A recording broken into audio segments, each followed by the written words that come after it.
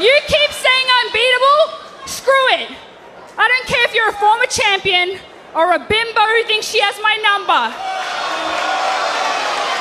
At Spring Breakin', I'll prove I'm worthy by beating both of you. Challenge laid out by champion.